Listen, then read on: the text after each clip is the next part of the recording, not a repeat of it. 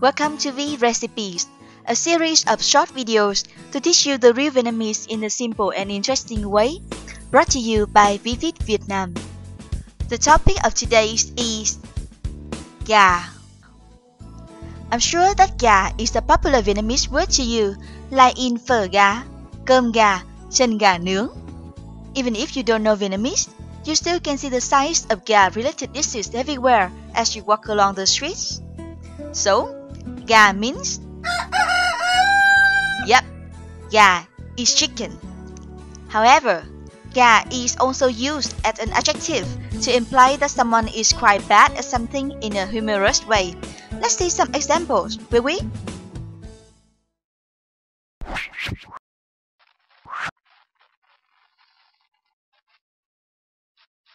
Ừm.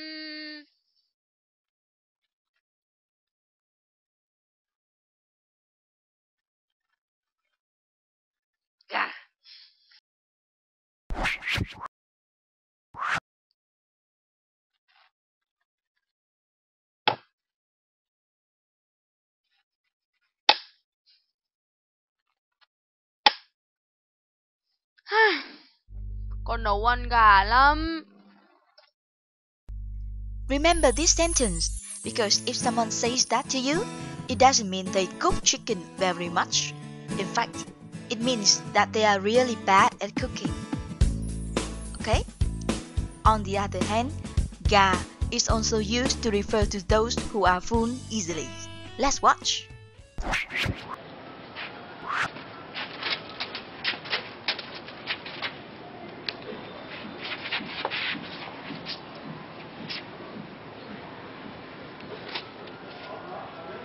Chị không gà đâu. We hope that this video is useful to you.